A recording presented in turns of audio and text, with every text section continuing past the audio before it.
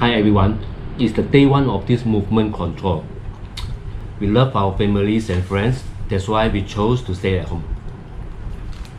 This morning, my wife was so surprised to see me clean the storeroom and also clean the toilet.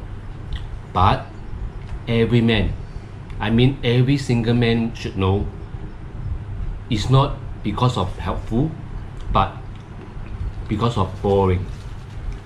Got nothing to do.